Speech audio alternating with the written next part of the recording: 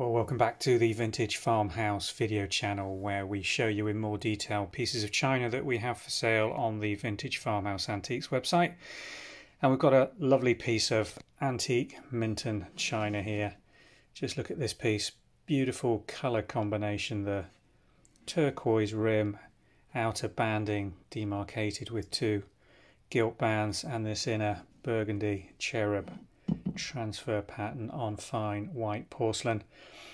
Beautiful piece in very nice condition. There is some gilt wear. This has been used as a dinner plate. See, the gilt is only partially retained around the rim, but for a piece of this age and quality, we do allow and expect some antique patina on these pieces. But just let me show you the gilt condition in general. If we just catch the light with that. There are some knife marks on this. If we come in closely, you will see it's not pristine cabinet condition, but it's very good considering. If I just turn this over and show you the china marks carefully, here we are in the center, an impress mark Minton and a partial date stamp mark giving this plate an 1858 production period.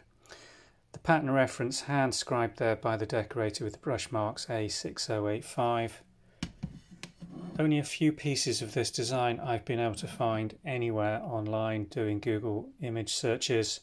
So I think this in itself is quite a rare and beautiful piece of antique porcelain for any collectors of cherub china or Minton superb piece available now through the Vintage Farmhouse website, and there'll be links in the description below taking you directly to this product listing. But do take time to have a look through our other Minton period of antique and cherub china. We've got quite a few pieces of these types of porcelain for collectors listed now on the website. So, once again, thanks for watching. Do subscribe to the channel if you find these little demo videos uh, of interest.